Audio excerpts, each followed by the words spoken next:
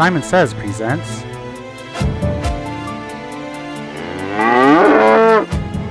Finding your dream job using SimonWorks.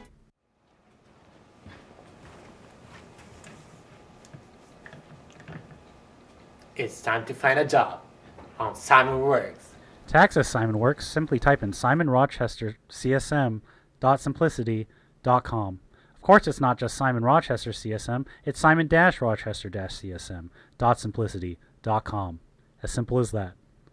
And of course, it's not simplicity with an I at the beginning, it's simplicity with a Y at the beginning. No, not that I, but the one at the beginning. There we go. We put a Y there, followed by another I. No, not a Y there.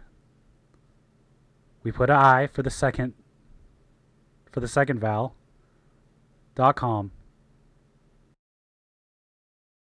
So you click student alumni because you are a student.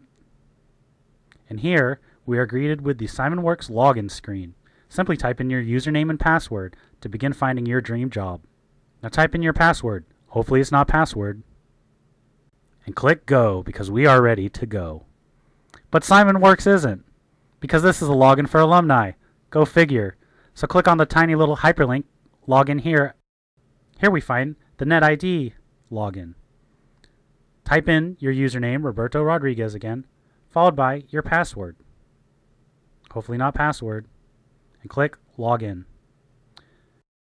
But it's not your UR username, it's your NetID username, which is the first letter of your first name followed by the first seven letters of your last name. And type in password and click login. All right, you made it. And now you can see all the jobs that you are not qualified for. This is a posting for an internship you do not qualify for. This is why it's grayed out. You wish you could apply for this. Sorry, but you can't.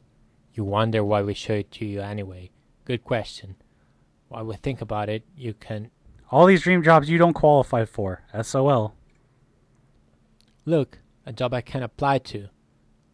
From obscure company you don't care about. This is a posting for a position you can actually apply for. Don't worry, however.